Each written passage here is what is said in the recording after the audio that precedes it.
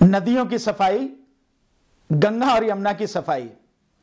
इनका हाल तो ऐसा हो गया है कि ज्यो ज्यो दवा की और मर्ज बढ़ता गया। आज तक नदियों की सफ़ाई पर विशेषकर गंगा और यमुना की सफ़ाई पर, हज़ारों करोड़ रुपए खर्च कर दिए गए। हज़ारों करोड़।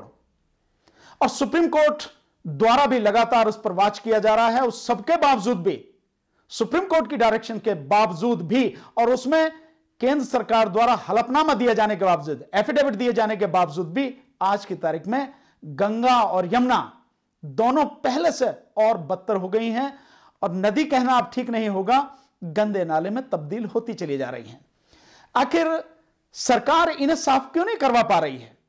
जो इस गंगा और यमुना के किनारे पर या देश की जितनी भी नदियाँ हैं इनके किनारे पर जो बड़े बड़े उद्योग लगे हुए हैं, जो बड़े बड़े उद्योगों का गंदा पानी इनमें पड़ता है शहरों का जो गंदा पानी है, सीवर का पानी है जो इसमें पड़ता है, सरकारों से रोकने में नाकामयाब क्यों है? चाहे केंद्र की सरकार हो या राज्य की सरकार हो, क्यों ना जितना भी पानी उसमें पड़ता है, उसको ट्रीट करके डाला जाए, जहाँ से भी नाने निकलते हैं, जहाँ से भी गंदा पानी आता है, उसको पूरी तरह से ट्रीट करके ही नदियों में डाला जाए।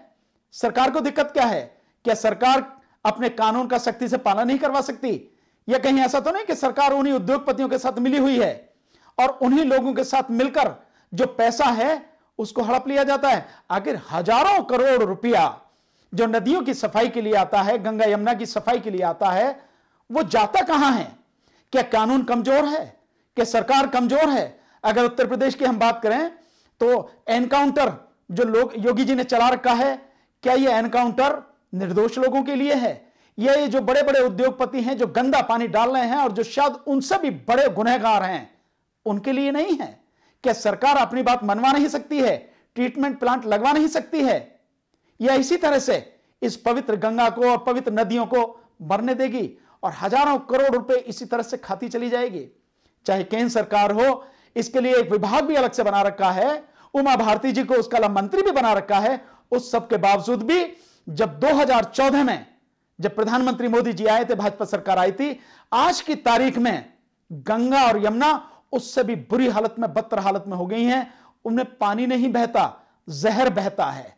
क्या हम इतना भी नहीं कर पाएँगे? डिजिटल इंडिया का सपना देखने वाले, स्मार्ट सिटी की बात करने वाले, बुलेट ट्रेन की बात करने वाले माननीय मोदी जी, अगर ईमानदारी से आप और आपकी राज्य सरकारें, उन्नीस राज्यों में आपकी सरकारें हैं, और गंगा यमुना के किनारे पड़ने वाली सभी सरकारें आपकी सरकारें हैं, अगर हम ईमानदारी से इस पे काम करें और पूरे ट्रीटमेंट प्लांट लगाकर उनका पानी नदियों में जाने दें तो शायद कुछ भला हो जाएगा, नहीं तो देश बर्बादी के कगार पर है।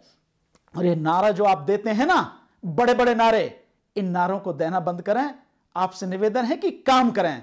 ये देश की जनता देख रही है। हर कोई आपको देख रहा है कि आप कितना कह रहे हैं और कितना कर रहे हैं। इन नदियों को मरने मत दीजिए, क्योंकि ये याद रखिए कि अगर ये नदियाँ मर गई तो ज़िंदा हम में से कोई नहीं रहेगा।